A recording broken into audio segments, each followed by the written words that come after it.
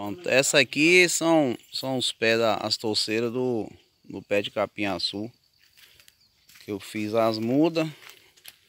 Ver como é que elas estão depois de transplantada. Ali tem as outras aqui que a gente fez para fazer o teste. E aí, tá desse jeito aqui, as torceiras. Dos pés de capim-açu, esses aí que foi feito aí no vídeo anterior. E aqui já tem já uma muda da muda, né? Já foi tirado de um dos pés desse aí, vocês estão vendo. E plantou aqui para fazer um teste também, ó, como é que ele já tá aí, tá? Então pode fazer aí a muda nesse padrão que a gente fez. Ela dá muito certo. Aqui, estou mostrando para vocês aí o...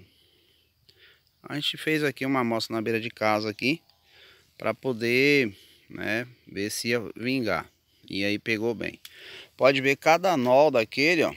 Se você olhar, ó a quantidade de de brotos que vai saindo. E ele cria uma torceira. Então, com um único nó, como vocês viram aí no vídeo anterior, ó a torceira que fica, tá?